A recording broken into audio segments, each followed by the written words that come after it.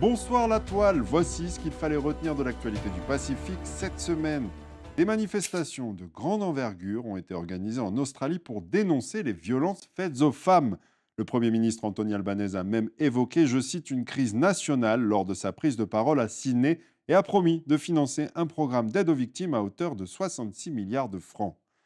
Et si un tapis de laine pouvait aider à lutter contre certaines algues envahissantes? C'est le projet lancé par une tribu d'Auckland en partenariat avec une entreprise de laine locale pour fournir une solution écologique et durable à un problème croissant. C'est une autre innovation qui ravira les papilles des Polynésiens.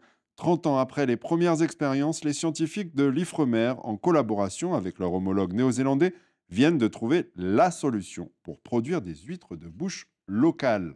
En Australie, certains concours de pêche peuvent rapporter très gros. À seulement 19 ans, Keegan Payne vient de remporter le gros lot avec une prise à 1 million de dollars, soit 70 millions de nos francs. Un poisson de rivière, le barramundi, qui a été étiqueté par les organisateurs et qui va lui permettre d'aider ses parents originaires du territoire du nord de l'Australie. Enfin, célébrer les héros Maui pour inciter les jeunes à la lecture et l'écriture.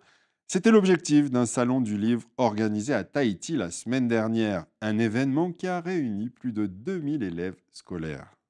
Voilà, c'est tout pour l'actualité du Pacifique. Cette semaine, on se retrouve tous les samedis à 18h pour suivre le JT du Pacifique. À bientôt